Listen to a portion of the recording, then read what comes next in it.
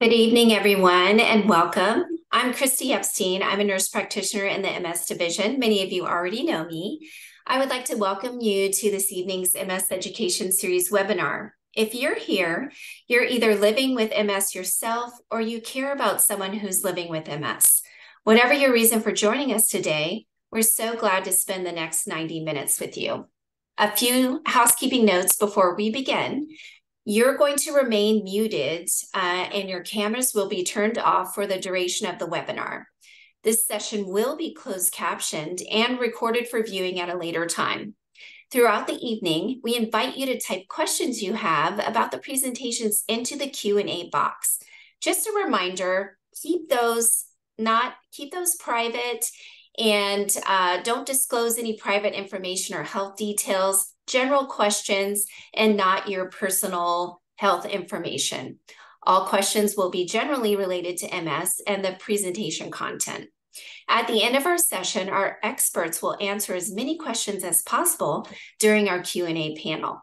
I'm going to serve as the moderator and presenter for this evening's conversation. I'm a nurse practitioner specializing in multiple sclerosis, and many of you already know me. I'm involved in the MS Quality of Life Clinic, and my special interests in the MS Clinic include wellness, reproductive issues, and clinical research. I'm really happy to be sharing this evening with some of my favorite colleagues from the Ohio State University Wexner Medical Center MS Care Team. And I did hear that we may be graced by the presence of our fabulous chairman, Dr. Segal, so stay tuned. You're going to learn more about all of our participants over the next hour and a half as we talk about various aspects of life with MS, including urinary dysfunction, pelvic floor therapy, and some very exciting research updates. Our team is a collaboration of physicians, scientists, nurse practitioners, and specialists that are committed to providing you with the care and treatment that is unique for you and your needs. Our goal is your comprehensive healthcare, and we will work as a team to help you live your very best quality of life. So, next, it's going to be my absolute pleasure to introduce our first speaker. Our first speaker is Dr. Crescenze. Dr. Crescenze is a urologist specializing in neurogenic bladder, as well as reconstructive urology and urogynecology. She completed her residency at the Cleveland Clinic and fellowship at University of Michigan. Her research is focused on management of newly diagnosed neurogenic bladder problems, both in a clinical setting and also in the lab. She is most interested in optimizing the use of the electronic medical record or EMR to help patients take charge of their bladder problems in order to prevent infections and hospitalizations related to issues. Please join me in welcoming Dr. Crescenze. Dr. Crescenze. Uh, hi, everybody. Um, um, it's really great to be here today. And uh, I am going to just go ahead and share my slides and uh, hopefully you enjoy the talks. Um, so today I'll be talking about bladder troubles in MS. Uh, as many of you know, it is a big driver of quality of life for many of you. Um, my disclosures in terms of scientific uh, disclosures is that I'm an investigator for Medtronic, who makes one of the sacral neuromodulation devices. So I'll start a little bit by talking about the bladder function. So bladder itself uh, is made up of um, kind of two major components. One is that it has a sac that holds the urine, which is a bladder muscle. And then there is a trigone. It's kind of the control center of everything where a lot of the nerve endings end. And it's right at the bottom of the bladder. And then there's the urethra where the urine has to pass through. The urethra is surrounded by a sphincter. The sphincter is really what controls the urine coming in and out. So when you have MS uh, or um, a stroke or Parkinson's or spinal cord injury, um, the bladder doesn't get the signals that it needs from the nervous system, and it doesn't coordinate the function of storing urine and emptying urine as it should. Uh, as you know, in MS, that can mean um, that um, the you may pee frequently, you may lose control of your urine, or may you you may not pee at all, and that's called a neurogenic bladder problem. It comes in many, many different varieties and sizes. You may have one problem, you may have two, you may have a conglomerate of issues. And really, my job here is to help you through the figuring out which problem is um, the main issue and how we can address it. Uh, in MS, there is about um, 3 to 10% of patients who will have bladder problems early on in disease. And about 75 to 85% of patients overall with MS will eventually suffer a bladder problem. The severity of symptoms is correlated with the severity of the uh, MS, uh, and the lesion location really determines the type of bladder problem you will have. Again, you can you may say that I can't pee at all, or you may pee too much. Either way, this has a significant impact on quality of life for many patients. Now, um, in uh, US, about one third of the population uh, as we get older will suffer from a bladder problem regardless of other uh, diseases. But things like age, obesity, postmenopausal status, bowel, uh, bowel dysfunction, pregnancy, vaginal deliveries, and a number of children. And in men, it's the prostate and the history of a prostate cancer that may require a surgery will all contribute uh, to the bladder problems in addition to the MS itself. And uh, there also, of course, can be diabetes and stroke and other issues uh, that can compound. So, screening for urinary symptoms are done uh, usually with Kristi. Kristi does a wonderful job doing this at her clinics. Uh, if you uh, see her, you you you will know this. It's often done at the di- time of the diagnosis of multiple sclerosis. It should be done anytime you have a flare and after the flare. And it should potentially include something called a bladder uh, ultrasound that, to measure leftover urine in a bladder. And if that number is greater than 150, generally we start thinking and talking about there being a bladder problem. Uh, when is it time to see a urologist? So you should um, consider seeing a urologist if you're having a lot of recurrent infections. You're not able to empty your bladder, or that post void residual, that bladder ultrasound is showing some high numbers. You have worsening symptoms, you're leaking and leaking a lot more. And honestly, it doesn't ultimately matter how bad the symptoms are, but if it is driving uh, you crazy or it's bothering you a lot, please come see us because there's things we can do to help. So, what are my goals for uh, for my patients. Number one is I want to protect your kidneys and minimize infections. Unfortunately, with a bladder dysfunction, the leakage or difficulty emptying the bladder, that puts you at risk for several different complications and specifically the infections that could lead to some kidney damage. My other goal is to listen to you and really understand what quality of life you have and how we can make that better for you from urinary standpoint. Um, so I wanted to do a little patient scenario to help kind of um, bring closer to home. So meet Leslie.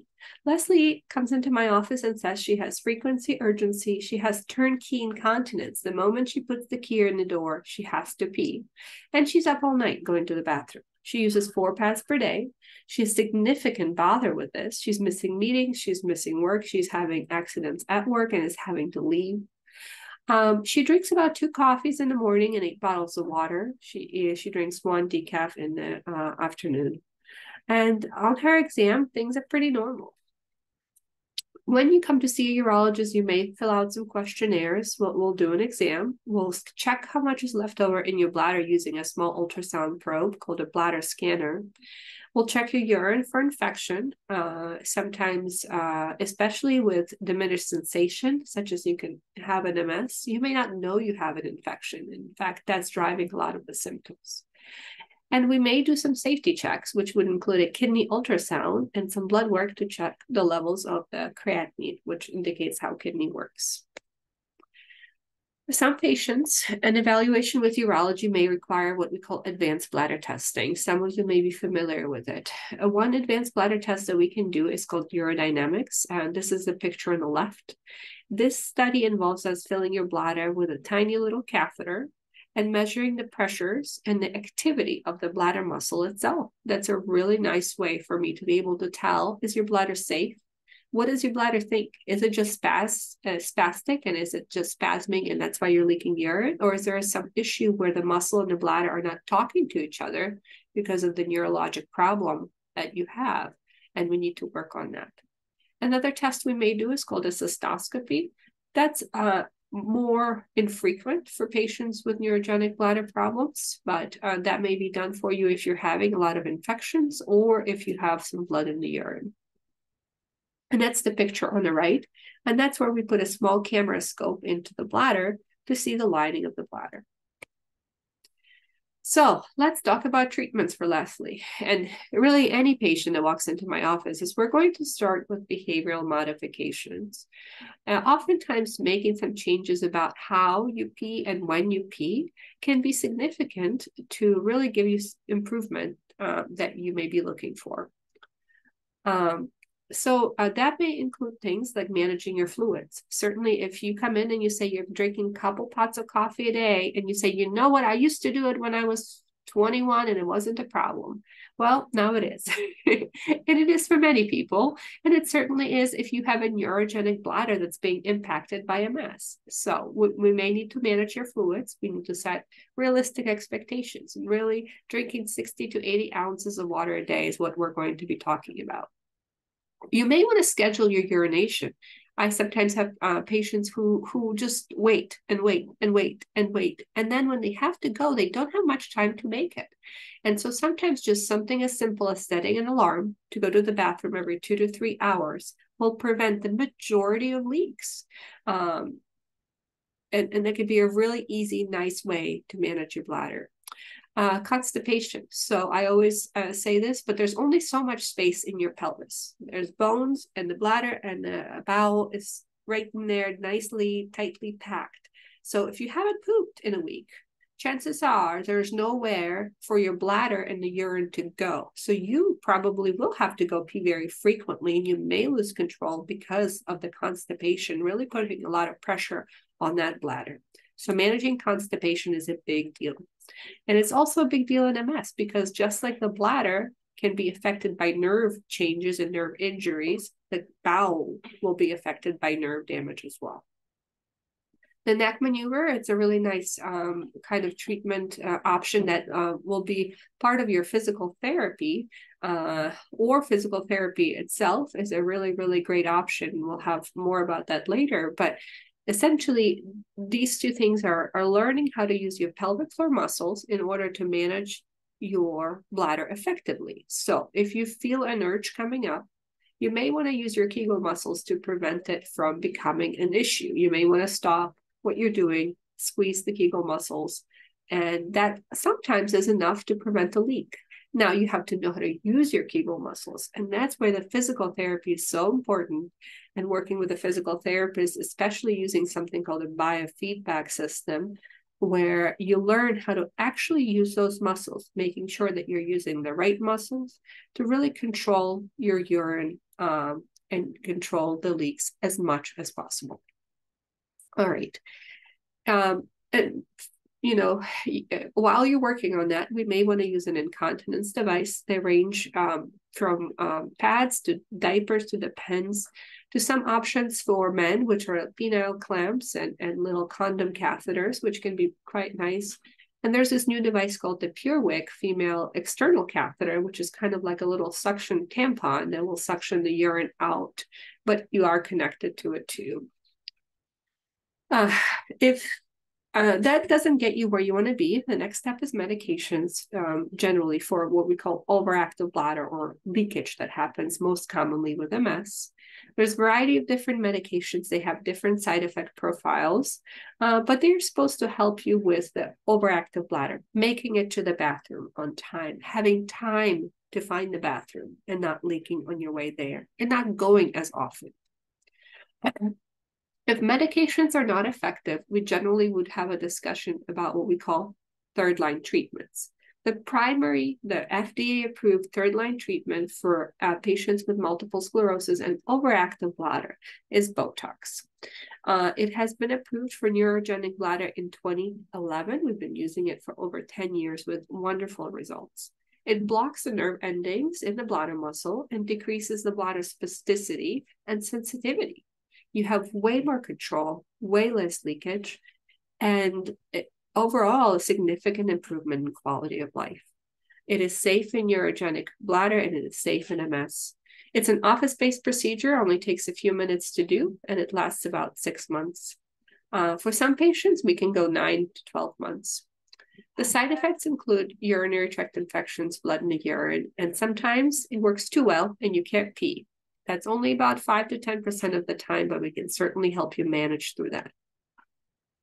The next option for majority of patients with overactive bladder is a posterior tibial nerve stimulator. As you can see here, it's an electrical therapy. It's put, uh, it's an electrode that's placed in the, uh, next to the ankle, and it sends an electrical current to the same nerves that go to the bladder, and it helps reset your bladder and give you some more control of the urgency and the frequency primarily. It's been shown to be about 70 to 80% effective in general population, and it is better than a um, medicine and it's better than placebo in the clinical studies that have been done. For patients with MS, uh, their response rate isn't as good, but it's been shown to be closer to probably around 60, 66%. It's a very non invasive treatment option. There's no implant, and this is done in the office, but it does require frequent trips to the office to do this treatment. Uh, next up is a sacral nerve neuromodulation.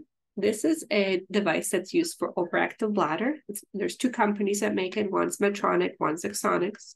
It is an implant. It's a small device that goes in your buttock and the nerve uh, and the wire or electrode goes to the nerve that goes to the bladder. It helps reset the bladder, helps again, helps your brain talk to the bladder to control the urge, the frequency, and the spasms. Uh, it's been on the market for quite a long time, uh, as well as similar to Botox. It's FDA approved for overactive bladder, and it results in about 60% improvement for most patients. It can also be helpful with fecal incontinence and fecal urgency, which is a big, big deal for many patients with neurogenic bowel. And it is now MRI compatible. For many years, this device was not MRI compatible, but it is now. So it's now become a very good option for many patients with neurologic disease who need MRIs, specifically our MS population. The limitations of this implant is that the battery life um, is about 10 years, so eventually you'll need it replaced. Uh, there's a rechargeable option as well. And the limitation, the really big limitation of this treatment, even though it's really excellent upfront, it with MS, as MS progresses, as you may develop another lesion here and there, the communication between the nerves changes and the device may lose efficacy. So MS patients are more likely to fail in the long term because of the changes in the MS disease itself, which is why it's technically off-label use for a neurogenic bladder. Uh, uh, but again, it's so effective for overactive bladder that we often do use it, uh, even if there is a component of a neurologic problem as long as the MS is stable. It's certainly not a good option for somebody with an active changing MS disease. Um, there, there is a kind of another component of all of this. So that all these treatments I just discussed are really good to help you control the urge, control the leak. But what about not being able to pee? Unfortunately, some MS patients, especially those with a, uh, spinal cord lesions, may have trouble going and that can result in abnormal urethral sphincter opening. Now, you may also have an enlarged prostate or a weak bladder. Those things happen to people without neurologic disease. And so part of my job is to figure out which one is it and to be able to offer you some treatments for that. Again, uh, the InterStim device, the sacral neuromodulation, is an option for patients who have trouble going. Um, it is uh, not as successful in that in that role in that indication, but is still an option. Uh, another option is to learn how to catheterize your bladder or to have a catheter placed, which you know are not as good of an option because it is not a natural urination mechanism. Um, there is what I call advanced disease, you know. So you've tried all these things, and either your symptoms are not controlled or your quality of life is still not where you want it to be, or you don't want to have a catheter. What can we do? Well, there is always reconstructive surgery or urinary diversion.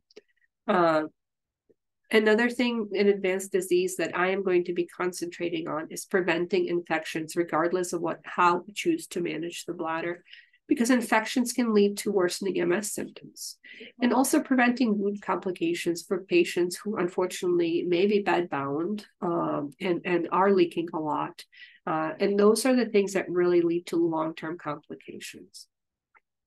Uh, one thing I wanted to say is that uh, in my clinic, I try to use a, a, new tool that we've developed for both neurogenic bladder and an overactive bladder. And it's kind of an electronic um, care companion. It's essentially an education a series or series of materials that can uh, help you understand the bladder issues that you're having and how they can be managed. It's integrated into Epic. You will get MyChart notifications when you're signed up for it. It will ask you to fill out some questionnaires to better guide your symptoms, uh, and it'll provide some education for you. Um, there is a little pathway that we just went over, which is kind of like, where do we start? You know, what, what do we need to work on? We work on behavioral things, and we work on medicines. Then we talk about advanced treatment options. And this MyChart Care Companion can help you kind of go through each step of the pathway uh, to learn more about your bladder. Okay. That's all I have for today. There's a lot more I can always talk about, but I'm going to go ahead and stop so I don't run out of over time too much. Thank you so much, Dr. Crescenze. We we so appreciate that presentation. Really wonderful. And I actually had the pleasure of spending some time in clinic with Dr. Crescenze and observed some of the procedures that she discussed, and patients did very well. So uh, don't be afraid and reach out, ask us questions if you have any, and make sure to put your questions into the Q&A chat box. Um, and I want to let you know as well that we do have bladder scanners at both our Martha Morehouse uh, location as well as Gahanna. We discuss bladder issues and other symptoms in the quality of life clinic in our MS multidisciplinary clinic. But as ever, at any patient visit with your provider, if you're having bladder difficulties at all, please let them know and we'll go ahead and get a bladder scan. So thank you again, Dr. Crescenze. And we are going to move on for another exciting presentation. It's going to be my pleasure to introduce Cassie Vietas. And uh, our next speaker, Dr. Cassie, is a pelvic floor physical therapist at the Ohio State Pelvic Health Physical Therapy Clinic, and that is located in Gahanna. She treats clients with a range of pelvic floor dysfunction, including bowel, bowel and bladder and sexual dysfunction. She completed her clinical doctorate in physical therapy at Simmons University in Boston in 2021, and she came to Ohio State for a residency in women's health physical therapy, which she completed in 2022. She received her clinical specialty in women's health in June of 2021. She has a special interest in pelvic health for persons with multiple sclerosis and other neurodegenerative conditions. And we're very excited to hear her presentation today. Dr. Vietas. Thank you so much, Kristi. I'm just going to get my presentation up here. Okay. There we go. Alrighty. Um, like Kristi said, my name is Cassie, and I'm here to talk about pelvic floor PT and its role in treating symptoms of pelvic floor dysfunction in persons with multiple sclerosis. I am so excited to be here. All right, so I have no disclosures for this presentation, but I do have a map of where we're going to go today. So pretty much in this presentation, we're going to go over what the pelvic floor is and what systems it affects, why it's important to see a pelvic floor PT and how the evidence supports coming to a pelvic floor PT and when to come, how pelvic floor PT works, including what a first visit looked like and what further treatments look like, as well as where to find a pelvic floor PT, um, whether that be at Ohio State or somewhere near you if you're not near Columbus. Um, all righty. Okay, so what is the pelvic floor? So The pelvic floor is a collection of muscles that are within the pelvic bowl. So, pretty much anything that you sit on, like a bike seat, you can consider that the pelvic floor. They span between the pubic bone to the tailbone and in between our sit bones on each pelvis. They help keep us continent by squeezing to hold urine, stool, or gas back, as well as relax to allow those things to exit our bodies. They're also vitally important to sexual health, our balance, and our lymphatic system. These muscles are often not talked about in the general population. It's not like everyone's going around telling the health of their pelvic floors um, between people. But in those with MS, the pelvic floor muscles are greatly impacted, whether that's due to spasticity or changed and muddled communication between the brain and our pelvis. So, and how that interaction changes might be affect your urinary system, your bowels, or sexual function. So that might show up in a lot of different ways. Um, in persons with MS, it might be a big, quick onset of urges to urinate, incontinence with urge to urinate, or with laughing, coughing, sneezing, or even just like when you're sitting around. It might be frequent visits to the bathroom, having shyness, and a difficult ability to empty. And for bowel movements, it might present as really big urges to have a bowel movement, leakage with bowel movements, constipation, really frequent bowel movements, or maybe at the end of a bowel movement, you don't feel quite empty. Sexual dysfunction is also very common in those with MS um, and might present as a pain with participation in any sexual activity, pain with arousal, or orgasmic changes. Lastly, pelvic pain is very common in patients with MS, whether that be pain in the tailbone, abdomen, pain in the front of the pelvis, low back, or hips. If you're experiencing any of these symptoms, it's not something that you necessarily have to resign yourself to live with long term. Um, so we got to reach out to your doctor and get a referral because there are PTs who are here to help you and are excited. All right, so going into a little bit of the why, so the research behind how this is impactful for people. So, you know, we talked about how pelvic floor symptoms might show up, but the research says that between one third and two thirds of persons with multiple sclerosis have some sort of pelvic floor dysfunction that moderately or severely affects their quality of life. Low balling, that means around 41% of patients um, with MS have bladder dysfunction. 30% have bowel dysfunction, and 41% have sexual dysfunction that in, impacts their quality of life more than likely everyone who's listening tonight has at least one of those categories. And the research demonstrates that pelvic floor PT has been shown um, to be highly effective with those who have urinary leakage, urgency, and num- reducing the number of bathroom trips. It has been shown to reduce the number of events of fecal smearing and incontinence, um, bloating, and frequency of bowel movements, as well as constipation. It improves sexual satisfaction and decreases pain with intimacy. And overall, the research says that pelvic floor PT has helped with the quality of life around these symptoms. So it might not decrease them completely, but it allows you to um, participate in your day to day life with a little bit more joy and function. All right. So, how does PT work? So every patient is different. So every visit in PT is going to be different and unique to each patient that comes in. The first visit is what I like to call a get to know you visit. So we'll talk expansively about your pelvic floor symptoms, including your bowel, bladder, and sexual health. And as well as we'll talk about food intake, water, your participation in exercise, and as well as your MS history. So that might be like, you know, what most recent flare you've had, or talking about if you've been to PT for balance or strength, what things you worked on so that we don't double dip.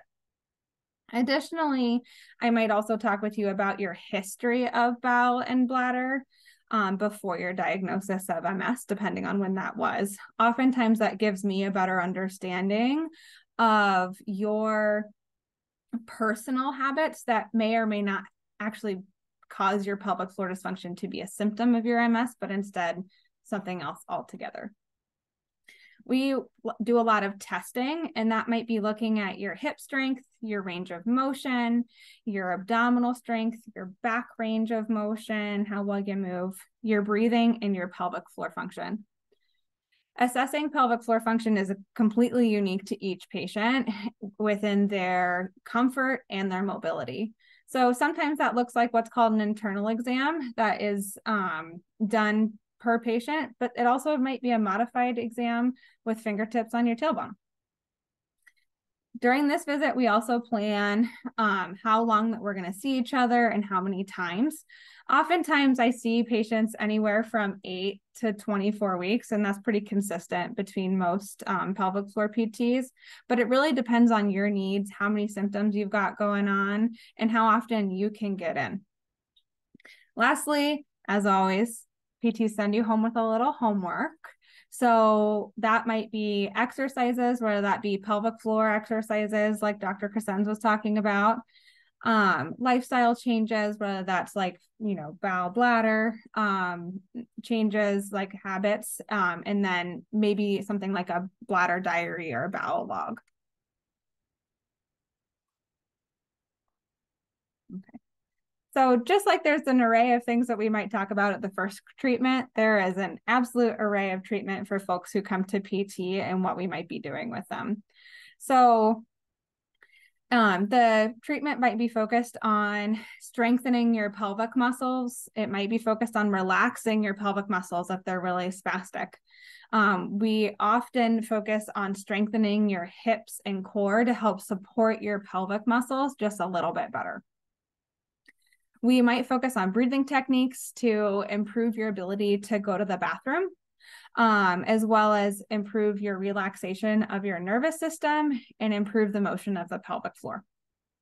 We might talk about small um, behavioral changes like changes around diet and water intake, as well as how often you you visit the bathroom um, and the techniques that you might use around going to the bathroom. So something like maybe urge deferral or helping you void completely. More specifically to the pelvic floor, oftentimes we do biofeedback training. Um, Dr. Crescenze did a really great job like introing that for me. Um, so biofeedback training is the use of small electrodes that look at the pelvic floor function. So essentially, as you squeeze your pelvic floor or stop the flow of urine and gas, that number should go up and increase because your muscles are working harder. As we let go of those um, muscles, we'll see that number go back down. So often I use this as a visual tool for patients. Our pelvic muscles sit right at the bottom of our um, you know, abdominal cavity and we can't see them. So it's hard for our brains to visualize how those muscles are moving, especially when those muscles are weak or very tense. Um, Oftentimes, I might also use different types of biofeedback, which is really just using something to tell you what's happening in your body. So that might be sitting on a towel roll um, or like a yoga ball. It might be self visualization of what's happening at those muscles.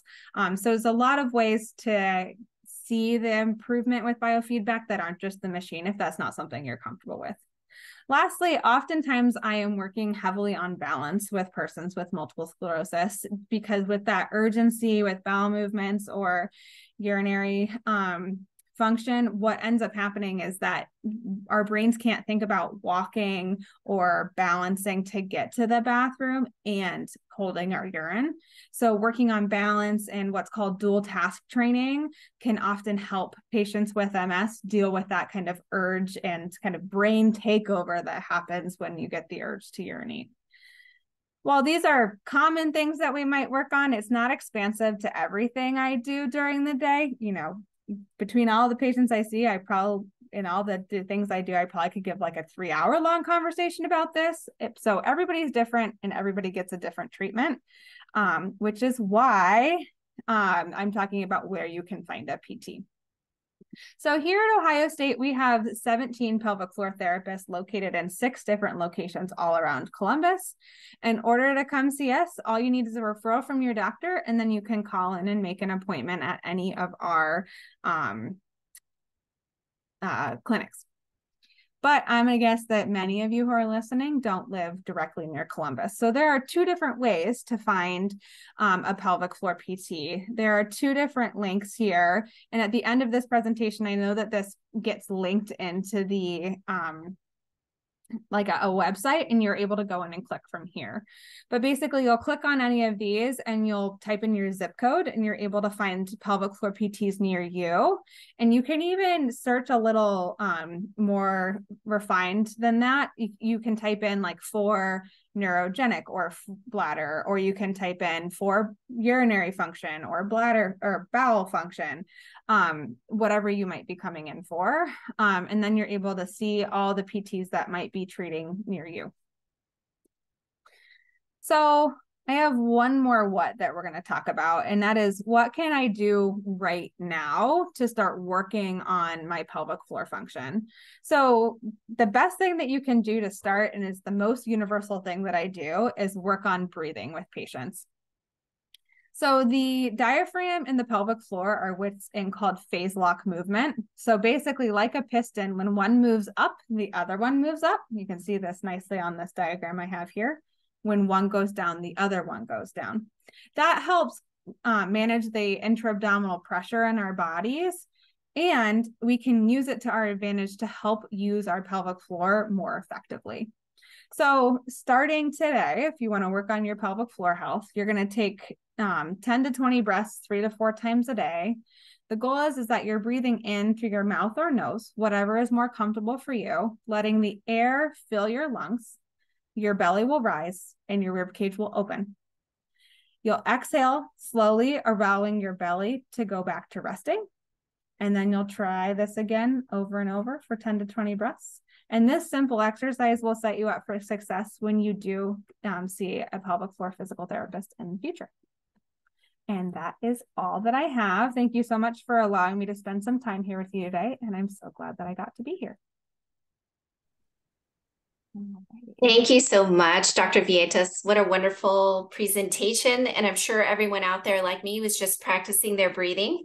So um, again, I want to encourage everyone to go ahead and put your questions that you might have into the Q&A box. And if you feel like you're having any issues with pelvic floor, please discuss this with your provider and we're happy to place that referral. And we are going to move on. And remember again, please put your questions into the Q&A box. So next, it's we're going to change gears a little bit and we're going to talk about some exciting research issues. And it's going to be my absolute pleasure to introduce one of our fabulous uh, clinical research coordinators that I work with on a weekly basis in our MS clinic. We have a lot of trials going on in our MS research group. Um, so we're going to be hearing from Dr. Ryan Dickerson. Ryan is a clinical research coordinator within the neurology department's MS clinical research group. He completed his undergraduate and graduate education here at the Ohio State University, and he has an extensive research background both in the lab and in the clinical setting. As part of his role as a research coordinator, he is involved in both OSU faculty initiated research trials and industry sponsored trials. And I can tell you that he has saved me many times when I'm having a glitch with a you know particular uh, tablet in clinic. Ryan is always there and he's such a positive president a presence in clinic. So now it is my pleasure to introduce dr ryan dickerson. Dr ryan well, thank you so much for the warm introduction, Kristi. I really appreciate it. Um, yeah, again, my name is Ryan Dickerson. I'm one of the clinical research coordinators here. And uh, what I want to talk to uh, everyone today about is just some basics about what clinical research is, what you can expect if you choose to participate in one of our trials, and just give a brief introduction about some of the projects that we have going on uh, in the clinic. Um, so, you know, starting off right with some definitions. So what's clinical research? It's uh, medical research that studies how and helps us understand health and disease, but it's always being done in a clinical population. So as opposed to something that's really starting off the bat in the lab or something that may be using an animal model, this is going to be research conducted in all of you. Um, it really helps uh, physicians and other healthcare providers better understand disease so they can treat and prevent illness more efficiently. Um, additionally, it helps us learn things about basic things about how the body works, how illnesses develop, and how they progress over time. Uh, it gives us more information about new treatments. So, you know, how much of a particular new drug do we have to administer to get the outcome that we want? Are there any side effects that we should be concerned about? Does it work? Um, lastly, it gives us some uh, basic understanding about how lifestyle and life circumstances influence disease frequency and uh, healthcare outcomes. Um, generally speaking, uh, clinical research is divided into two general bodies, uh, observational studies and clinical trials. Um, you can subdivide you know, further once you get within those two categories, but just to keep it simple, I'll just talk about these two. Uh, observational studies typically uh, will not have participants that are assigned into a test group. And that can be a group that's researching a new drug, a new medical device, um, a particular procedure. Um, but importantly, they a participant may be choosing to participate in a, one of these particular things on their own. But it's not us telling them, you know, you're going to be in group A or group B. Um, additionally, uh, observational studies are really useful in understanding associations between variables. That could be something like Tylenol and headaches or anything like that. So a drug and its outcome or a device and its outcome, but it can't really talk much about causation. Um, additionally, observational studies really they generate a lot of new associations that can then be teased out in clinical trials to better understand them that way. Um, observational studies are also really useful when a clinical trial just wouldn't be appropriate. Um, so that could be something that's a really long-term observational study that perhaps people are monitored for years and decades, something that's really outside of the scope of what a clinical trial would be able to do. Um, additionally, it's really useful for um, high risk things. So, you know, it really wouldn't be ethical for us to put people in harm's way, but if someone's choosing to do those things on their own, we can monitor, um, you know, how things progress for them as, as time continues. Um, so switching gears, clinical trials, um, sort of as a as a um, opposite side of that, we are going to be randomizing people into different arms of treatment, and it's typically done in a blinded fashion, where a participant doesn't know, you know, if they're taking, you know, the investigational drug or if they're taking a placebo or whatever drug it's being compared to. Um, oftentimes, the healthcare providers also don't know those things, so that would be considered a double-blinded trial. Um, and th those are really considered the gold standard um, when pharmaceuticals or other researchers are trying to show some um, things are doing the intended outcomes. Um, additionally, um, like I mentioned, that blinding process really can be a little disconcerting for some participants just because they want to get those results. But it's just sort of the nature of how clinical trials are ran. And um, oftentimes it's a it's a decision that people have to make if they want to perhaps be randomized into a placebo group. So that's something to consider as you're uh, thinking about joining a particular clinical trial. Um, throughout the uh, research process, clinical trials are broadly divided into four phases, depending on how far along in the research process they are. And you know, the smaller the phase, typically the lower the number of participants that will be in the trial. So a phase one trial that's really seeking to answer the question, is the treatment safe? May have you know 50 people, 100 people, but it's not going to typically be a huge cohort. Uh, versus we start getting up to phase two trials, which are really asking the question, does the treatment work? Um, those may be you know a couple hundred people, Phase three, even larger. Phase three, really trying to establish is the treatment better? Is it better than other um, treatments that are already available on the market? Or is it better than doing nothing at all? And typically, if all goes well with phases one, two, and three, uh, then it will be reviewed by the FDA. And if it gets approval and people start taking that, um, you know, as, a, as they're prescribed by the clinicians, then we can sort of move into a phase four trial which is going to be the largest number of participants, really seeing how that new drug or product is performing in the real world with a whole variety of unique situations that people bring to the table.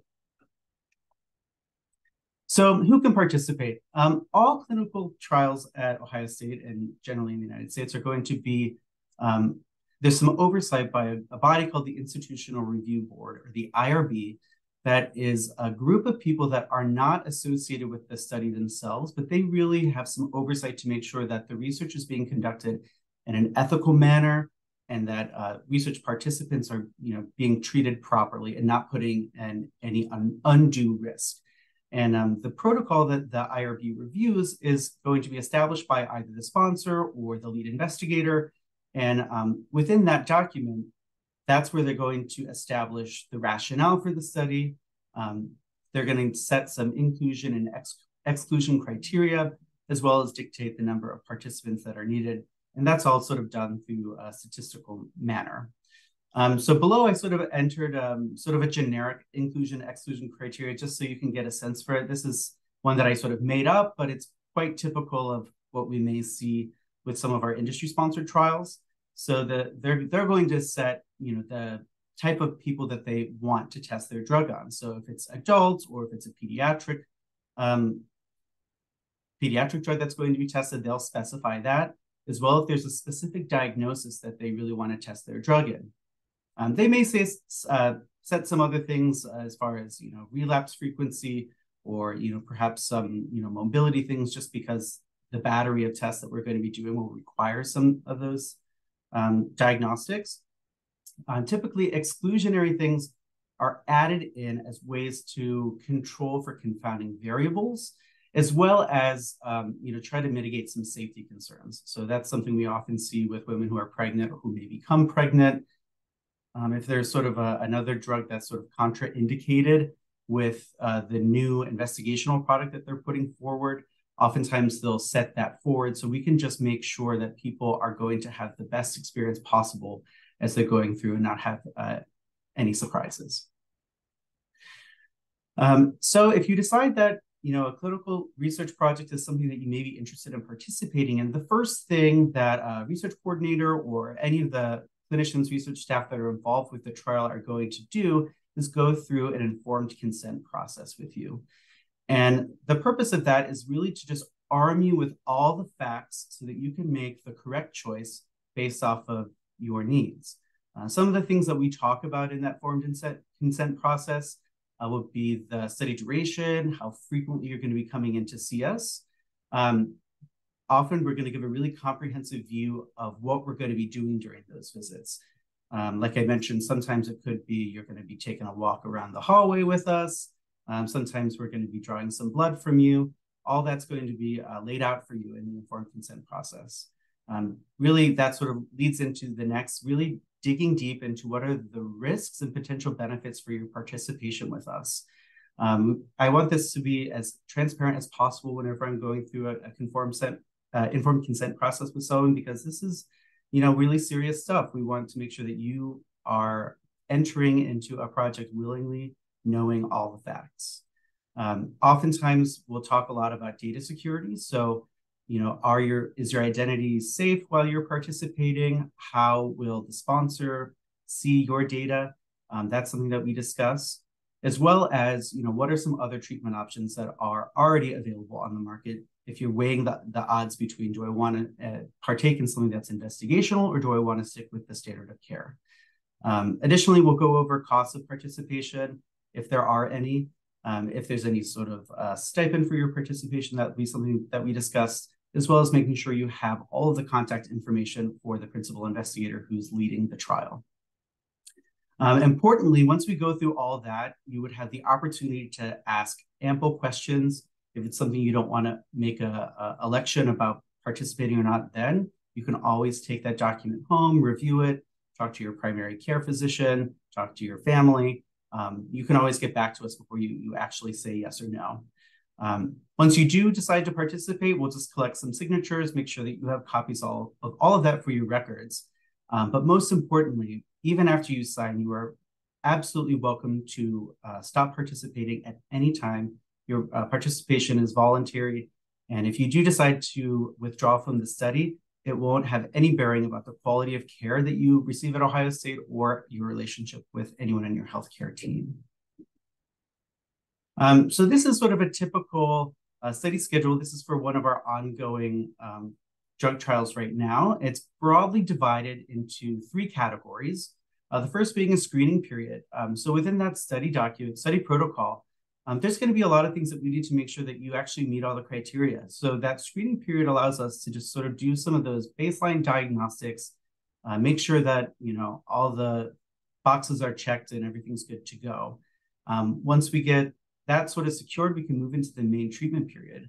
So starting that, um, typically if it's going to be a randomized control trial, the randomization event will happen right at the beginning, and then you'll be sort of selected into either a treatment arm or a treatment arm of an investigational product or of the whatever it's being compared to, be it a placebo or be it an existing product that's on the market. Um, this particular trial has visits every 12 weeks, but every protocol is a little bit different. I just want to sort of give an introduction of what it may look like. And then some, some trials may also have the opportunity to continue on an open label extension period where everyone could switch to the product, even if they were on the compared arm later. Um, things that we types ways that we collect data during some of our research visits. We'll do a really comprehensive review of your medical history and current medications. Um, we always start off with taking some vitals just so we can keep track of that, make sure nothing is changing as we're starting to administer anything. Um, some different questionnaires about uh, quality of life, um, satisfaction on the trial, all, thing, all sorts of things like that. Um, a lot of lab results. So we could be drawing blood, collecting urine, saliva, sometimes cerebral spinal fluid, Again, all of those are going to be dictated in the actual protocol that is approved by that IRB. Um, sometimes we collect imaging data, uh, functional assessments to establish um, disability, and a comprehensive physical exam. So you may be wondering, you know, how would a research different research visit look different from a typical clinical visit? Um, so again, that really depends on what the protocol dictates. So some you know, more straightforward research protocols, if it's a short data collection that the research is going to do, we can often piggyback that off your existing clinical visits. Um, so those are nice because you don't have to make a special trip out. Oftentimes they may only take 20 to 30 minutes extra. Um, but that's something that, you know, is sort of unique to those type of protocols. Other more involved trials may last several hours. And typically for those, uh, we would prefer to have a unique research visit um, scheduled with you uh, and you know, we can build in if it's a really long day. I know I often like to build in lunch breaks and ways that it can be a little more comfortable for uh, participants as they're spending the day with us. Um, also, something that's a little unique when you're participating in uh, research trials, you often get to interact with a lot of people within the team. Um, so instead of just seeing your typical neurologist, you're going to see perhaps several clinicians. You're going to interact with me and some of my other colleagues as research coordinators, some of the folks in the imaging group, um, you really get a, a, nice comprehensive introduction to everyone on the team. Um, other things to remember, like I mentioned, uh, both you and your physician may be blinded. You may not have access to some of the uh, laboratory results that we are collecting as part of the research trial, and that's very normal. It's just part of that blinding process so that we don't introduce any sort of treatment bias uh, that your clinician may sort of make some assumptions about which group you're in or not. Um, additionally, um, because it is typically going to be long visits, oftentimes we're doing things that are above and beyond what the standard of care would be from a diagnostic standpoint. And that's totally normal. You should expect that. It's just us making sure that we're collecting all the right data, both from a research question as well as sort of a safety standpoint as well. Um, some of the trials, like depending on what the how the protocol is written and what the sponsor has dictated, they're really long visits or they're multi-day visits, um, sometimes there is um, reimbursement available for if you have to spend the night, so you can come for two days in a row, or if uh, you're not able to secure your own transportation here, sometimes we can have um, like transportation services that can pick you up and drop you off as well. So those are things that you can ask um, the research coordinators about as they're going through an informed consent process with you, and they can give you all those details. Um, so last here, this is just sort of a quick snapshot of the different trials that we have going on within our group. Um, you can see we have several, uh, both clinical trials as well as observational trials that are ongoing. Um, at this time, we're only really enrolling from an MS standpoint, um, sort of for two observational trials. One's uh, biomarkers of biological aging and multiple sclerosis, um, that one's really aiming to understand how the difference of how, as people age, of course, we we acquire a lot of things that we didn't have uh, when we were younger, and a lot of the tools that uh, were designed to assess sort of disability in MS were designed in a younger uh, younger group of people. So we want to see both, you know, from a, a, tool standpoint, how things are different, but also from like a biological molecular standpoint. So they may be looking at different DNA markers and things of that nature, really comparing between patients that have MS and patients that don't have MS to better understand as we age, what does that mean? Um, we also are participating in the Neuroscience Research Institute Brain Bank and Biorepository. Um, so that's just building a library of samples that are available for researchers to um, put in a request for, and they can really ask a lot of questions from the samples that we bank there. Um, a lot of our other studies that are ongoing, some of them are sort of closed to new people enrolling at this time, but we do have several that are in the planning phases, probably getting started towards the end of this year into next year. Um, can't really discuss those just quite yet, just because they're still in the works.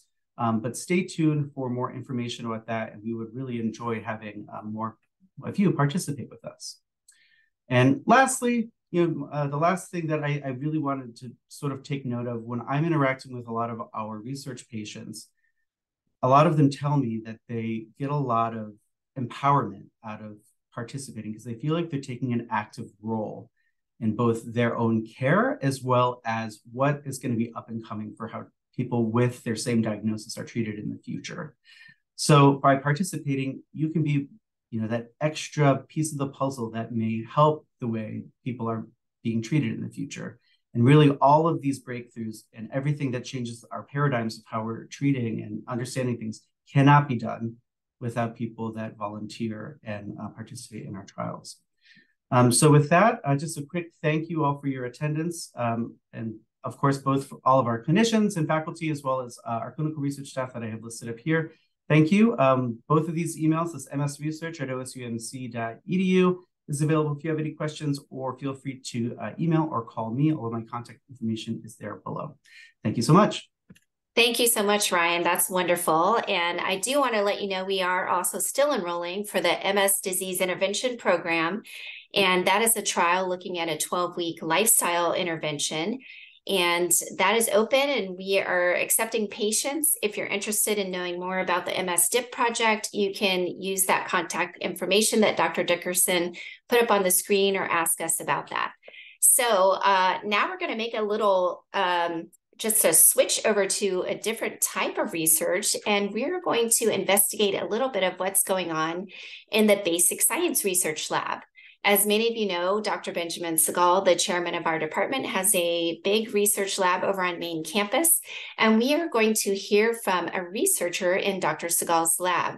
So it's going to be my pleasure to introduce Calli Bellinger.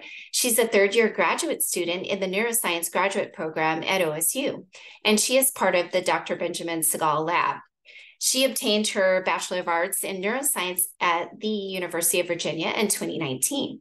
Her research primarily involves studying the role of myeloid cells, immune cells that function as first responders in a mouse model of multiple sclerosis. So we look forward to hearing what Calli is going to tell us about some of the exciting basic science research in Dr. Segal's lab. Calli? Thank you for that great introduction. I'm going to set up my slides. There we go. Like I said, this is going to be quite a different talk than what you've heard before. This is going to be heavy on the science, but I hopefully I can present it to you in a way that is palatable and not too boring.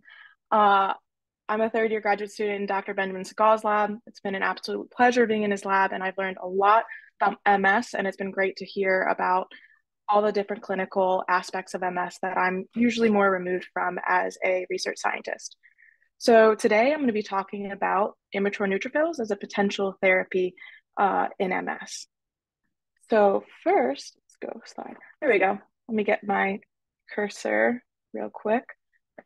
Uh, so first I'd like to start in the basic um, background information on the brain and some of the damage that occurs during MS. One of the main disruptions in multiple sclerosis is damage to brain cells known as neurons. Neurons send and receive information uh, through electrical signals throughout the body. You can think of neurons more like an electrical wire. You have the wire, which is known as the axon for a neuron, or um, that sends and transmits information. as well as the rubber coating, which is the myelin of the neuron. This helps protect the axon as well as helps uh, transmit information in a more uh, conductive manner. When damage occurs to the myelin or the rubber coating, uh, the electricity, the conduction is lost, but also the axon itself can be exposed to other pathogens that can then lead to degradation of the neuron. Now, in all of us, we have white blood cells, also known as immune cells, that circulate throughout our bloodstream. Normally, immune cells will stay out of the brain because we have this uh, three layer um, barrier known as the blood brain barrier. But in multiple sclerosis, what happens is there's a leak in that barrier, and immune cells then can enter into the brain and cause destruction of those axons and myelin I was just talking about. Once those destructive immune cells enter the central nervous system, they can interact uh, and then multiply and release damaging factors that cause that destruction and damage to the axon and myelin, which might eventually lead to neuronal death. Naturally, we would like to use drugs and therapies that prevent these immune cells from coming into the CNS um, or the central nervous system, prevent them from releasing those damaging factors, prevent them from interacting with uh, other immune cells. And in fact, we do have drugs that do just that. Ocrevus is one of them uh, that targets an immune cell known as a B cell. We also have natalizumab, which helps prevent immune cells from getting into the central nervous system. Now, the problem is that most people with multiple sclerosis already have some form of a nervous system damage by the time of the diagnosis. As the next advancement in MS therapy, at least to me, we need to have treatments that actually help reverse that neurological damage and further prevent more damage from occurring. This will lead to my project as I aim on focusing on treating neuronal damage that has already occurred. Now, I'm going to go through a lot of mouse studies, and I thought it would be great to give some background on a mouse model of multiple sclerosis, which maybe not all of you know. Uh, it's called experimental autoimmune encephalomyelitis. That is a mouthful, so I'm going to refer to it as EAE from now on. Now, by no means this is a perfect model for multiple sclerosis. However, it does allow us to study how immune responses, um, similar immune responses that we see in uh, MS. Now, EAE relies on injecting immune cells, or those white blood cells I was talking about, that will specifically attack myelin within the mouse. We will then track the disease course of the mouse, and we do this through a uh, numerical scoring system zero being no disease. So normally how the disease progression goes along, once we progress, uh, once we inject those white uh, blood cells that will attack that myelin, there's no disease, and eventually the mouse will onset. Now onset is more of a ascending paralysis. You'll see a limp tail. They'll have difficulty righting themselves, and as the disease progresses, they show a more increased uh, hind limb weakness and then paralysis. So th this indicates that a higher um, clinical score means a more progressive form, uh, more progression of uh, MS or EAE in this mouse model. Let's go for. There we go. Now, I mentioned in the very beginning this thing called neutrophils, and I haven't talked about it since. Uh, neutrophils are one of the most abundant white blood cells in the human body. About 60% of white blood cells are neutrophils. They are quite short lived. Uh, this is a little bit debatable in the literature. Some people say it's six hours, 24 hours. It really depends on the individual as well as the circumstance, um, if there's inflammation or not. They're considered the first responders of the immune system. So they are constantly circulating around the uh, bloodstream, surveying for pathogens, uh, looking into tissues. However, once an infection happens, these uh, neutrophils will mature and activate, as you see here. They will then go to the site of infection and either engulf the pathogen or start releasing pro-inflammatory factors. So factors that will recruit other immune cells to come in, cause a lot of inflammation, and take care of that infection. Now you might be thinking, why would the cell be good for MS? You don't want to inc increase the inflammation, that would be bad. Uh, however, what was really cool that in um, Dr. Segal's lab, they found that there is an immature uh, version of these neutrophils that can be polarized to act a bit different. So we found that when you, um, uh, in sorry, let me backtrack a little bit. So these immature neutrophils can be quite protective and reparative in the central nervous system.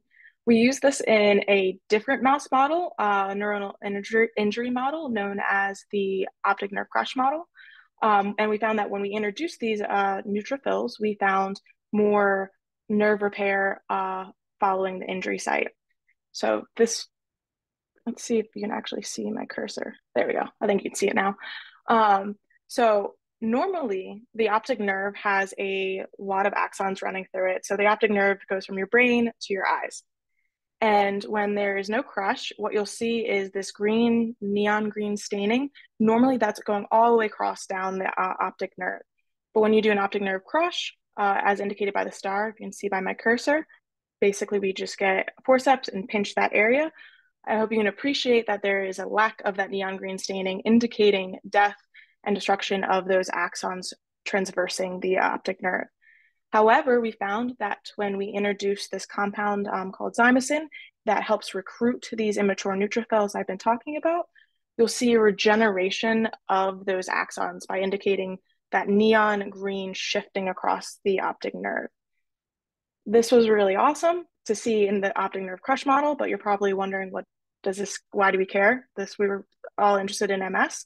So we decided to try to take those immature neutrophils and use them in our EAE, our mouse model of multiple sclerosis.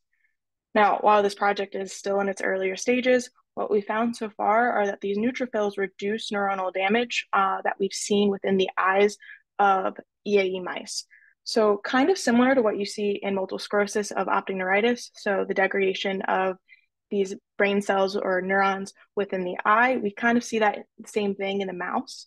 And we found that when we introduced these immature neutrophils peripherally, so not even at the eye, we saw a reduction in uh, damage to those neurons, which is really exciting. Another exciting factor is we found them to be immunosuppressive, meaning they helped uh, prevent the proliferation or the multiplication of these immune cells, uh, hopefully dampening that immune response. Now back to this beautiful graph again. What we did was we uh, introduce these immature neutrophils during the disease course of EAE, we really wanted to see if this is actually going to impact the clinical score. Are these mice going to not get sick? Will they uh, have a delay in onset? Will they uh, the severity of their sickness decrease? And what we found was that when we transferred these neutrophils, so this is we have a control mouse um, with the green square or the uh, blue squares, the typical EAE course. But when we introduced those immature neutrophils indicated by the green triangles, we found that there is actually a delay in onset of the EAE disease course, as well as a decrease in severity. This indicated to us that maybe these neutrophils are acting as a way to uh, inhibit or prevent that proliferation of immune cells and therefore decreasing inflammation within these mice. Along with the optic nerve data I talked about uh, with the pro-regenerative, these neuron or these neutrophils look like they're a heavy hitter on two sides. They help prevent um, inflammation from occurring, as well as repairing any damage that has occurred uh, by being neuroprotective. So, in summary of what we've seen in the mice, is that we've seen these immature neutrophils that have been polarized that can release reparative factors, as well as prevent the multiplication of immune cells, destructive immune cells, which over time could lead to neuronal repair and protection. Again, you might be wondering, oh, this is really cool, but this is all in mice. Why do I care? Uh, how can we translate this to humans? Well, in our lab and actually the biobank repository that's been talked about already due to patient samples that have been donated, we've been able we've been able to find these immature neutrophils naturally occurring within the bone marrow of uh, patients. And the goal is this is a hopefully a potential future ally um, in multiple sclerosis is that we can take those immature uh, those uh, remove bone marrow cells, isolate out those immature neutrophils, put them into culture, put polarizing factors in which we've already done in the Segal lab to create that immature uh, pro-regenerative, neuroprotective, immunosuppressive uh, type of cell. And then hopefully in the future, we'd be able to then infuse that back to uh, back to the patient to help repair any damage that has occurred due to MS. This is the goal. We've already started making some steps to looking at actual human cells, and we have great potential for this. I'm actually really excited. You should look out for Dr. Andrew Jerome's work on this in the future. I would like to thank my lab, Dr. Benjamin Segal, who might be talking. I don't know. He's been a great mentor uh, really has introduced me a lot into multiple sclerosis. Dr. Uh, Jeffrey Atkinson, as well as Dr. Andrew Jerome, both of which are postdocs that really have helped guide questions that I have during lab and all the technical skills. Dr. Andrew Sass, who has helped guide me with the neutrophils, as well as Dr. Cole Harrington, who is always a great help in reminding me about all of the MS research that's going on in the oligodendrocytes. Another really cool research that you should look into. And with that, that'll be all from me. I hope uh, I'm excited to hear your questions. Thank you so much, Calli. What a wonderful presentation. Such exciting things happening in the Basic Science Research Lab. One of my favorite days of the year is always Neuroscience Day when we get to hear the wonderful presentations by these amazing basic science researchers in their lab. So next, I'm going to let Dr. Giang take over uh, for our Q&A panel. Dr. Giang? Thank you so much, Kristi. And what an amazing day. We've just had such wonderful discussions. Um, I have learned a lot, just so much about research, about urinary issues in MS, uh, about how pelvic floor therapy can be helpful, you know, if you have MS. So, you know, thank you to all our speakers. I will open the floor to all the speakers, and I see uh, Dr. Segal is still here. So if you could just pull up your cameras on, and we will start the Q&A session um, right away. Great.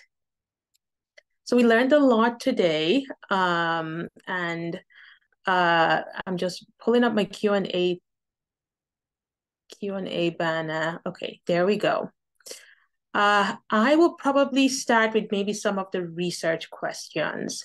Um, oh, we have Dr. Cartwright with us as well. Dr. Cartwright is one of our MS fellows. I'm sure some of you will see her in clinic very soon. Um, so we'll start with some of the research questions. Um, and I'll go to Dr. Dickerson. Uh, one of the questions says, do you have to be an OSU neurology patient to be involved in, in a research project? Uh, that's a great question. Thank you. Um, so typically, yes, we do like to at least have some sort of established relationship of care um, to get started with one of our trials. Um, we often use, um, you know, from a medical record standpoint, we do a lot of documentation there. And um, that's helpful for us on a research side, but also we do have a lot of our clinicians that are doing a lot of the evaluations here. So I know just in discussing, um, you know, with many of the other panelists, it's a lot, it's quite helpful to be able to already have some sort of established relationship there and um, just securing diagnosis, and um, all the other things that are involved with that. So uh, yes, typically we would like you to be uh, involved as a patient in our clinic at Ohio State.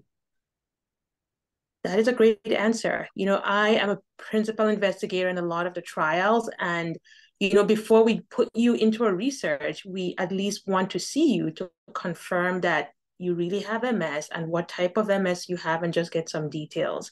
So that is absolutely right. Thank you, uh, Dr. Dickerson, for that answer.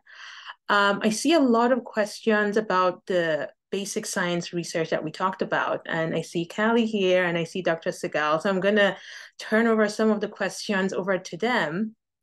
Uh, we'll start with this one. Do any animals naturally develop MS, MS-like disease or conditions, or is EAE the only way for testing MS treatments in animals? So I will have either yeah. Calli or Dr. take that one. I can jump on that one, and then uh, Dr. Segal could probably jump on that too. So there are actually multiple. EAE is a broad uh, term for different mouse models in MS. There's quite a few different ways to induce EAE. Uh, but to answer the original question on does it naturally occur in mice, normally no. There are some genetic backgrounds that can induce EAE naturally, uh, or sorry, MS-like disease naturally, but in order to study, uh, have const- um, more constant and more um, controlled experiments, it's easier to induce the disease and keep it all controlled than um, mice spontaneously uh, developing it. Dr. Segal, would you like to add? Um, yes. So, um, in general, throughout most laboratories, we, you know, deliberately induce this MS-like disease in in um, in animals, um, most commonly in mice and, and rats, but it's also been done in guinea pigs and in non-human primates. For example, marmosets, um, which is a, um, a, a, species of, of monkey as well as um, macaques. There has been described in a particular um, subset of macaques uh, the occurrence of an MS-like disease that seems to be related to infection with a particular virus. And that arose naturally. And that is being studied at some laboratories in Oregon. There's also occasionally an MS like disorder that occurs in in dogs, which is rare and sporadic. Um, so there are some rare instances in, in as I said, non-human primates and dogs of of MS-like disease that have um, you know uh, some similarities to the human disease, but this is very difficult to predict um, and it's relatively rare, so it's difficult to study in the laboratory setting. Thank you very much for those answers. Uh, and then I will do another quick question in terms of the basics, because there seems to be a lot of questions, and I'm going to lump these questions into one. So several quest uh, questions about clinical trials. Will there be clinical trials with the neutrophil research? Would the neutrophils need to be introduced early in the disease? And what is the timeline for the potential optic nerve repair that you talked about in some of your slides? So this is more, I mean, this these are two separate questions, I guess. We're yeah. talking about when it's going to be in clinical trials in actual people, and then maybe a little bit about the timeline on how quickly or the timeline on how the optic nerves get repaired um, in your research. Okay, I was also answering one about polarized neutrophils that I realized I did not describe well. I'll start with that real quick. Uh, it's a blanketed state uh, statement of saying a polarized neutrophil. Basically, you have mature neutrophils, super inflammatory. Uh, an immature neutrophil is a little bit more changeable, more malleable. You can push it down a pathway that is not as pro-inflammatory. So when I mean polarized neutrophils, it's providing uh, factors that can push it down a more anti-inflammatory, more of a reparative uh, function instead of more inflammatory secreting factors that can uh, recruit other cells. For the clinical trial aspect, I think Dr. Segal could talk more on that. I could say my opinion. I think it's quite far off, but it is still the always our goal in research is to get uh, anything that we're researching into clinical trials to have therapies to help patients. In terms of the optic nerve crush uh, or the in the EAE mice, typically what we see in that disease co course, if you remember, we'll start seeing optic neuritis like symptoms uh, around peak uh, of that disease. And if, even when we introduce those neutrophils early on, before they even get sick, we notice that there is a decrease in the damage. Now, it's hard for us to study whether that is because they're, those neutrophils are suppressing the um, inflammation, which is reducing the actual initial damage in the eye, or if it's actually helping repair any damage that has already occurred. So, would it need to be introduced at the beginning of MS? I would hope so. I would hope to say no. Uh, it's really hard to treat someone with MS before they develop or before they clinically get diagnosed with MS. Uh, the great thing about the neutrophils that I potentially see is that they can have some reparative function to damage that has already occurred. I hope that answered your questions. I know Dr. Segal could probably talk more on the clinical aspects. Okay, thank you, Calli. So as Calli mentioned, we're still in fairly early stages in that we're we're uh, testing these um, immature neutrophils in the animal model more extensively. But we have identified um, similar cells, as as Calli alluded to, in bone marrow of of um, human beings, and we have now developed protocols by which we could stimulate the the uh, the bone marrow cells to become even more potent um, uh, repair cells. So what we're now doing is developing different uh, methodologies to expand those cells in a dish and to polarize them after we have a large number of them to see if if we can still uh, trigger them to acquire these properties that that lead to healing in the nervous system. Um, it's it's difficult to predict how long that's going to take, but we, we definitely are going to put a lot of effort. This, we the, the human counterpart was recently discovered in, in the past six months, and right now we're putting a lot of effort into expanding the cells and seeing if we could polarize them in larger numbers.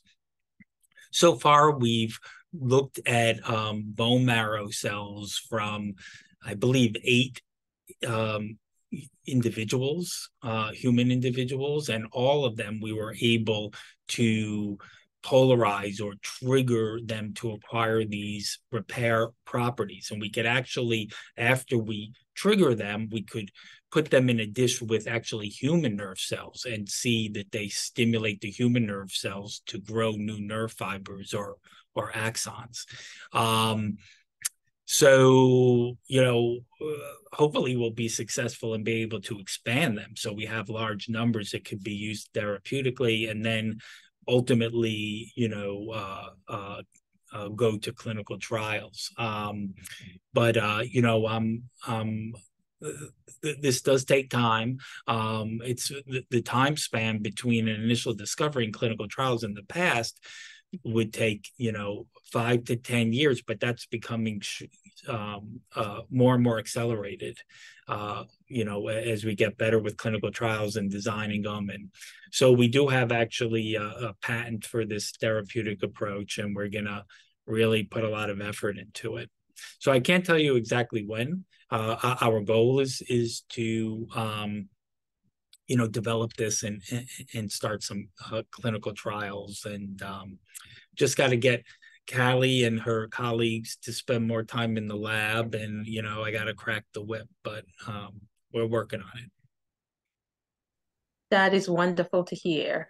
Uh, we're going to move to a slightly different direction, but before we do, uh, we have a comment that says, thank you for the information. Keep doing this good research to help fix the nerve damage. So that that's just a wonderful comment.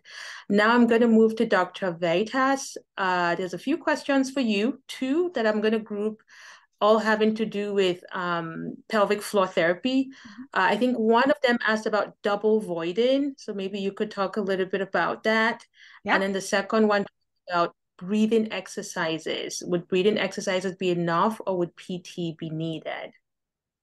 Um, so I'll start with the double voiding question. Um, absolutely, PT is effective for those who double void. So oftentimes, what we'll be working on is like re- relaxing to urinate, as well as um, kind of giving your body the cues to urinate. Oftentimes, with um, MS, those signals from the center that controls urination in your brain that go down to your bladder are a little bit mixed up. So, we kind of help create a superhighway of information by creating a routine for you. Um, and that's really individual for each patient.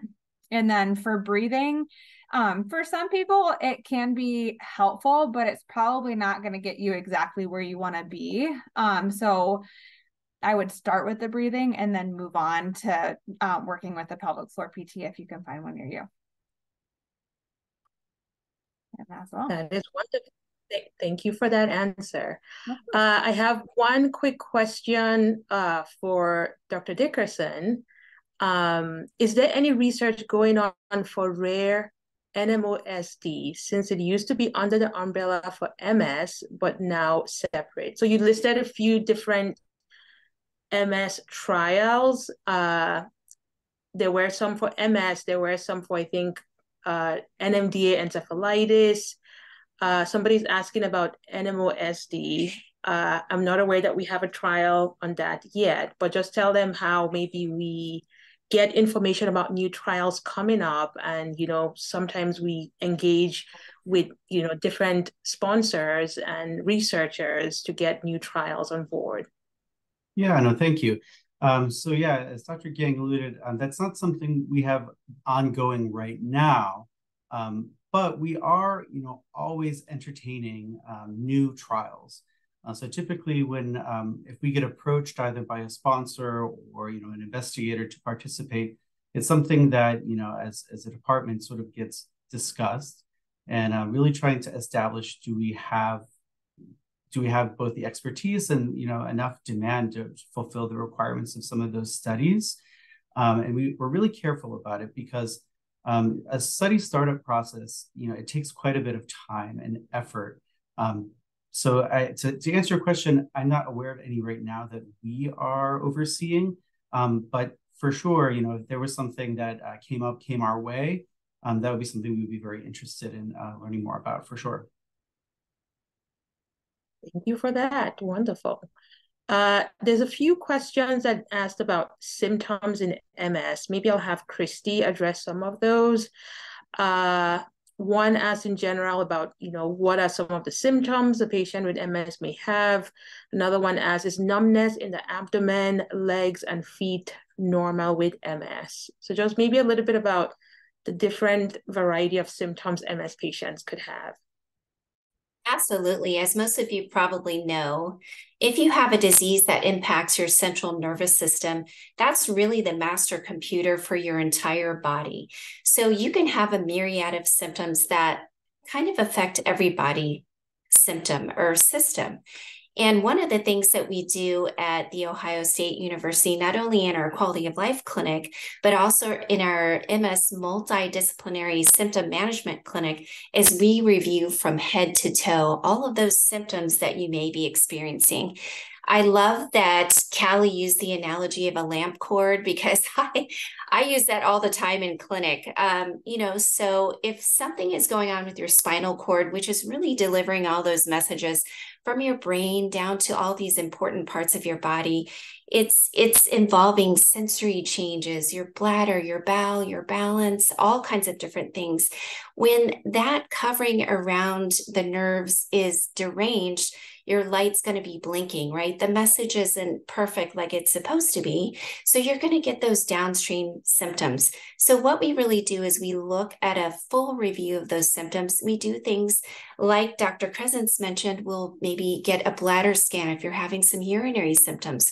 Often our patients will get urgency of the bladder. Our patients will have numbness, tingling, weakness. Um, you can have symptoms in the abdomen. You can have a symptom called Lhermitte, where you might have a sharp or uh, electric type shock feeling if you flex your head. So, yes, there are many, many symptoms. All of the things that you mentioned are possible if you're a patient living with MS.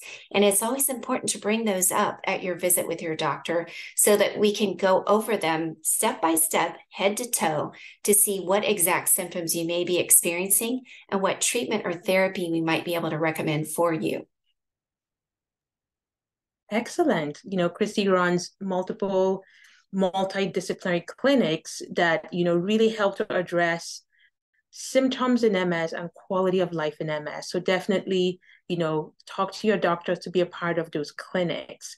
Uh, there's a few questions about how to get to see the pelvic floor therapist. Do you need a referral by your neurologist? How, how if, if you want to be seen by uh, Dr. Vietas service, how how do you get how do you get into see uh, how do we get to get patients into the pelvic floor therapy? So you can get a referral from any of your doctors. Um, and all that it would need to kind of state is what you've got going on, you know, even if that's just pelvic floor dysfunction. Um, and that's that's all you need. Then you schedule a visit. Generally there's a wait because there's not enough pelvic floor pts that exist yet um, to m- make it so that we get in like really soon. Um, but like for our clinic it's about a three month wait to get in to see us but then once you get in we get a little bit um, we get rolling. That is wonderful. So that is something that you could discuss with your doctor for referral. That's great uh, this is just a comment. Somebody says, you know, they've been with OSU for nine years and they just want to say that your continued research and personalized care saved my life. Thank you for what you do. We appreciate that comment. Uh, there's a lot of other questions that I don't think we're going to have the time to address. Uh, I see one asking about Mavenclad. Uh, I'm trying to find it. Uh, does Mavenclad help with MS-related bladder issues? So Mavenclad is one of the disease-modifying treatments. In general, the disease-modifying treatments help to control the progression of the disease and may not necessarily help with the specific symptoms that you're dealing with. Uh, there was a question as well about Ocrevus, or maybe a comment about Ocrevus reducing the immunoglobulin levels. Thank you for that comment. That is some something that we occasionally would see with Ocrevus. Uh, we have two more minutes, so uh, I don't know that we could get to all the questions that are on. I see that some of them have been answered. Uh, unfortunately, Dr. Crescenze could not stay till the end, but I see that she has answered, you know, most of the questions that were directed to her. Uh, any final thoughts from any of our researchers or our clinicians that are on board? I thought this, this was just a wonderful avenue to talk about both research and clinical care, uh, and is a good way to put things all together. Uh, Kristi, any final words or Dr. Segal? I would just like to congratulate all the speakers and Christy for uh, being a wonderful host again, and also you, Dr. Giang, you know, for once again coordinating a great question and answer session. Um, I'd also like to thank everyone who attended for your great questions and for your interest. Thank you. Well, I think it's about 7.30 and I don't want to keep us uh, too long. Uh, thank you everyone for attending and we will end the session now. All the videos and all the slides will be available on our website. So just be aware that you can access any of this information on our website. I'll hand this back to Kristi and thanks everyone. Thank you, everyone, again. So exciting to hear from all the speakers about the amazing basic science research. So thank you everyone for joining us tonight. That is all the time we have, unfortunately, and we will address your questions and get those back to you. We'd also like to invite you to log on to wexnermedical.osu.edu slash MS community to learn about updates in our MS program, including details about this and future sessions in this virtual education series. Also, the doctors will be answering questions that we didn't have time to get to in our Q&A session tonight, and we'll post the answers on that webpage in the coming days, along with the presentations and a video from tonight's event. There are a lot of wonderful videos there. If you want to have an MS day and watch a lot of videos, we welcome you to do that. Thank you once again to all my wonderful colleagues for sharing their time and expertise with us, with us this evening. Thank you so much for attending. We would love to learn about you and how we can care for you and your MS or provide you support as a caregiver to someone with MS. You can schedule an appointment with one of our physicians on our website or by calling 614 293 4969. And again, we look forward to seeing you very soon. Thank you and good night.